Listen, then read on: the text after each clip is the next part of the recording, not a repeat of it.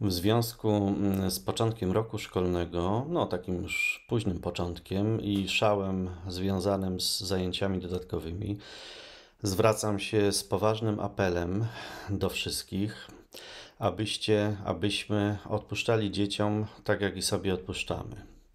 Dlatego, że no. Y Wyjście z nerwicy to jest też umiejętność przede wszystkim odpuszczania sobie, odpuszczania sobie tego, czego jest za dużo, wybierania optymalnych rzeczy, raczej odejmowania niż dodawania.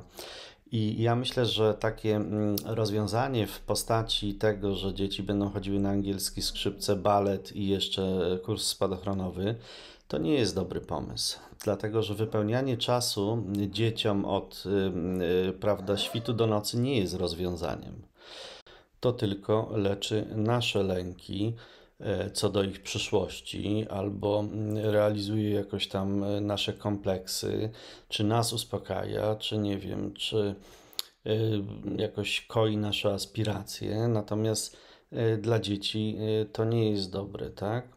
Jeżeli zostawimy dzieciom swobodę wyboru i proporcje, a to jest bardzo ważne, żeby od małego uczyć dzieci proporcji, żeby umiały zachować proporcje między czasem wolnym, czasem nauki, y, tak, lenistwa, lenistwo jest dobre, lenistwo jest dobre, tak, lenić się y, to jest bardzo ważna umiejętność. Jeżeli te wszystkie śrubki podokręcamy, to y, tutaj będziemy zasiewać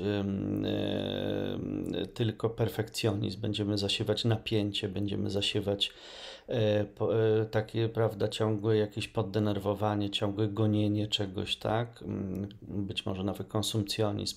Także jeszcze raz apeluję do wszystkich, odpuszczajmy dzieciom, tak jak i sobie odpuszczamy, dlatego że sobie też jest bardzo dobrze odpuszczać, tak? Jeszcze raz powtarzam, że wychodzenie z nerwicy to raczej w tych e, obszarach zdolność odejmowania, a nie dodawania, albo powiem inaczej, zdolność odejmowania tego, co szkodzi i e, e, zastępowania różnymi rozwiązaniami, które prowadzą do zmniejszenia napięcia. Tak? To też ogólnie będzie skutkowało zmniejszeniem napięcia w ciele, czyli zmniejszeniem somatów. Tak?